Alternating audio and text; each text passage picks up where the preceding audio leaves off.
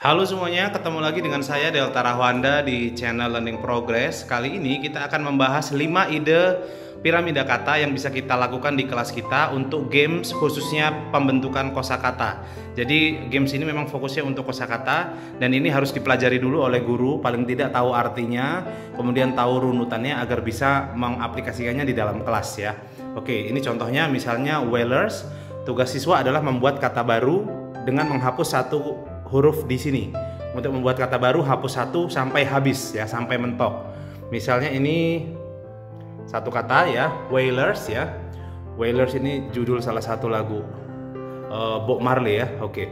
Kemudian atau personil bandnya Bob Marley ini. Nah, terus kemudian kita buat kata baru menggunakan kata Wailers tapi dikurangi satu hurufnya. Misalnya begini. Uh, rail. Oke. Begini ya. Nah, W-nya kita hapus menjadi cereals. Oke, kemudian ini bisa menjadi arless. R airless. Ya enggak? R oke ya. Ini I-nya kita hapus. Kemudian ini bisa menjadi airless begini. S-nya kita hapus. Kemudian ini bisa membentuk kata apa nih? Laut ya, sea. S R-nya kita hapus. Lalu ini bisa membentuk kata S sebagai lalu e sebuah. Ini adalah contoh kata yang pertama.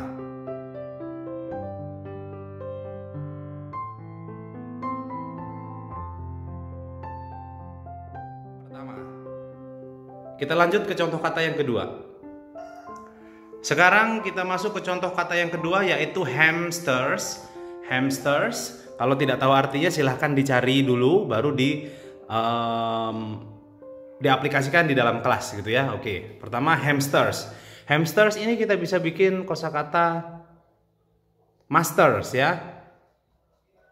Master tapi masih jamak, masters. Hanya kita hapus masters. Lalu kemudian ah, ini ya. Armets. Begini bisa nggak ya? A R oke. Okay. Kita hapus satu S-nya berarti. Dari hamster ke master, lalu ke armet. Dari armet ini bisa menjadi mate, kawan, sahabat. M A T E S. R-nya kita hapus, mate. Lalu kemudian ini bisa menjadi eight. Begini. Kemudian ini bisa menjadi set. Set verb 2 ya. Kemudian ini bisa menjadi at, lalu ini bisa menjadi a. Ini contoh piramida kata yang kedua. Kita sekarang masuk ke contoh yang ketiga. Contoh kata yang ketiga yaitu tapestry. Ini diawali dengan kata tapestry, kemudian kita membuat kata baru menggunakan huruf-huruf ini, tapi dengan dikurangi satu. Misalnya ini menjadi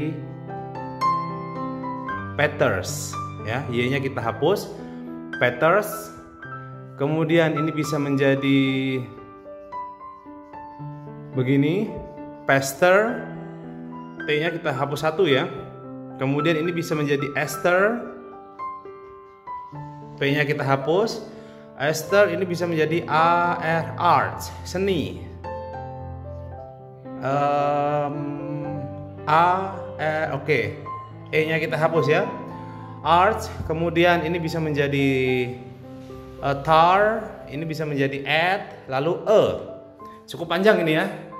Oke, dari tapestry menjadi e. Ini adalah contoh kata yang ketiga. Sekarang kita masuk contoh piramida kata yang keempat.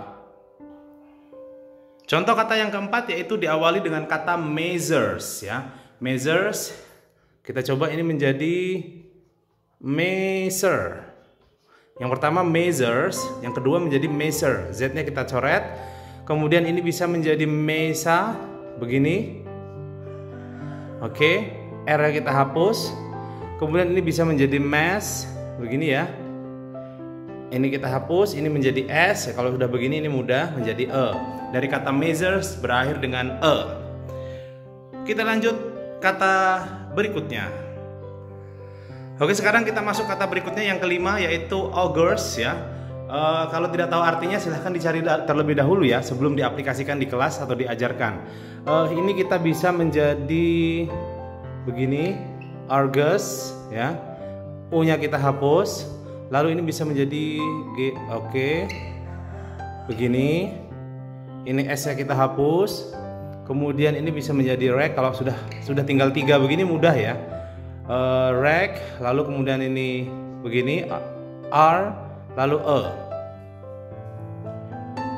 Oke itu tadi kawan-kawan contoh 5 ide piramida kata yang bisa diaplikasikan di kelas khususnya untuk mengajar uh, pelajaran atau skill vocabulary ke para siswa kawan-kawan sekalian. Semoga bermanfaat. Jangan lupa subscribe, like, komen, dan share channel Learning Progress bersama saya Delta Rahwanda. Terima kasih.